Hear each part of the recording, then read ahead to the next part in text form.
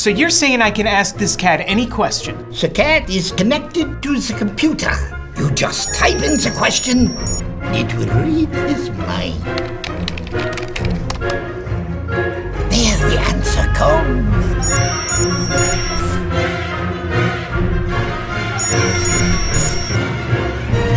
You're the man! I've been looking for this for weeks.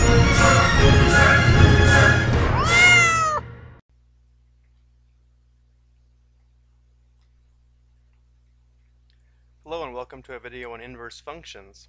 The goals of the video are to define inverse functions, determine if a function has an inverse function, and lastly to determine the equation of an inverse function. So we're going to start off by talking about a special type of function, a one-to-one -one function. If a function is defined so that each range element or y value is used only once, then it is a one-to-one -one function. If every y value is only paired with one x value, we have a special type of function called a one-to-one -one function. And a horizontal line test helps determine graphically whether a function is one-to-one. -one. If a horizontal line does not intersect the graph of a function in more than one point, it is a one-to-one -one function.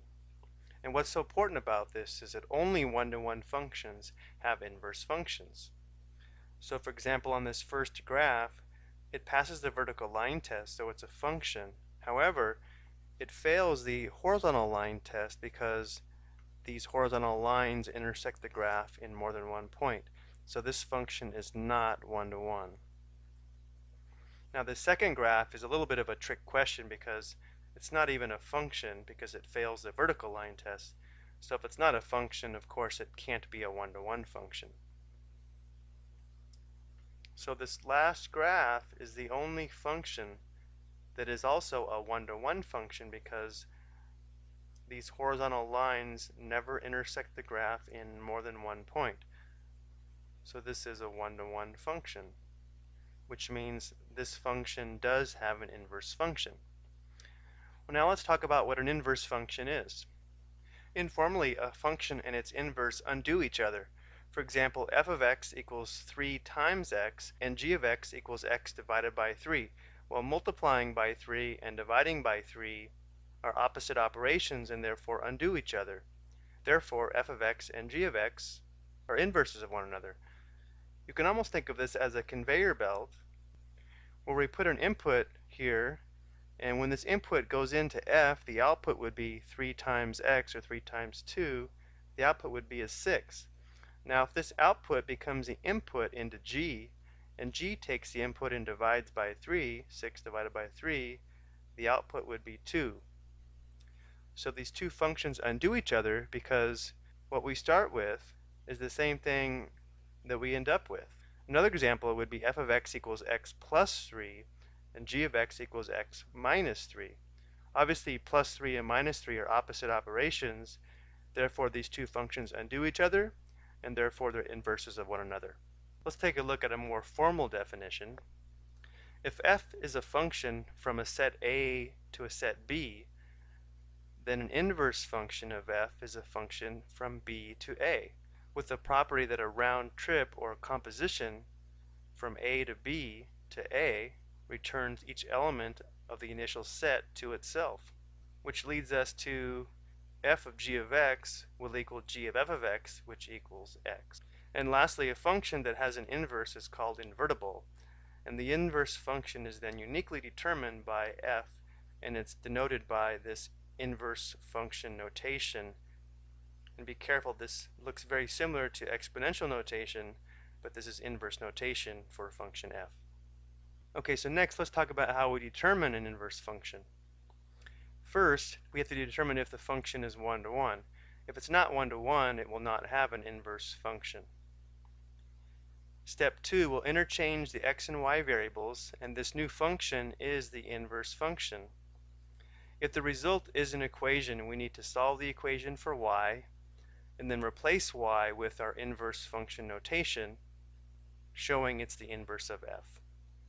Now, of course, we could perform this procedure on any function, but the resulting inverse will only be another function if the original function is one-to-one. -one. To emphasize that, let's take a look at these four functions. Which of these are one-to-one -one functions, and what does it tell us about the function? Remember, to determine if a function is one-to-one, -one, we have to perform the horizontal line test. So this function quickly fails the horizontal line test, so it's not one-to-one. -one. This one obviously fails as well. And these on the right, they pass. Never will a horizontal line intersect the graph in more than one point. So what that means is these two on the right are one-to-one -one functions, and therefore these two have inverse functions, and these two do not have inverse functions. So let's go ahead and try to find some inverse functions. Here's a function that consists of three ordered pairs. So the inverse function would just consist of the ordered pairs 2, 1, 3, negative 2, and 2, 5. Notice how we just interchanged the x and the y coordinates for these ordered pairs, and we have the inverse function. Now we should make a note that they told us the original functions were one-to-one, -one, therefore we can go ahead and find the inverse function without questioning whether they're one-to-one -one to begin with. Next we have an equation that we want to find the inverse of. So we're going to interchange the x and the y variables. So we'll have x equals y to the third plus 2. This is our inverse function, but now we do have to solve this for y. So we'll subtract 2 on both sides. Next, to find y, if we have y cubed, we'll take the cube root of both sides, so we'll have y equals the cube root of x minus 2. Now the last step is to replace this y with our inverse function notation. So we'll have f inverse of x is equal to the cube root of x minus 2. And to be consistent, let's go ahead and rewrite our original equation in function notation. And this would have been f of x equals x cubed plus 2. And let's take a moment and, and look at the graphs of these two functions together. Let's go ahead and type the original function into y1 and we'll type in our inverse function into y2 so we'll raise the quantity x minus 2 to the 1 third power and let's go ahead and graph y equals x as well Let's go ahead and make sure we have the standard window, zoom 6. There's our function. There's our inverse function. And these two share a special geometric property in relation to the line y equals x. It'll become even more obvious if we press zoom square, zoom 5. And so another property of a function and its inverse is they're symmetrical across the line y equals x. And you can see if we were to fold these functions across this line y equals x, they'll match up perfectly with the other piece on the other side of y equals x. Let's take a look at two more. Again, we have another function that's given as one to one. So we'll go ahead and interchange our variables. We'll have x equals 2 divided by the quantity y minus 4. Remember that this given equation is a function which could have been written as f of x equals 2 divided by x minus 4. We need to solve this for y, so let's go ahead and perform cross products here. X times y minus 4 must equal 2. Now we'll divide by x on both sides. So we have y minus 4 equals 2 divided by x. Add 4 to both sides. And the last step should be to replace our y variable with inverse function notation. So we'll have f inverse of x equals 2 divided by x plus 4. So here's our inverse function and here's our original function. Let's go ahead and summarize. In a one-to-one -one function, each y value corresponds to only one x value and it would also pass the vertical and horizontal line test. If a function f is a one-to-one, then it does have an inverse function. The domain of f is the range of f inverse, and the range of f is the domain of f inverse.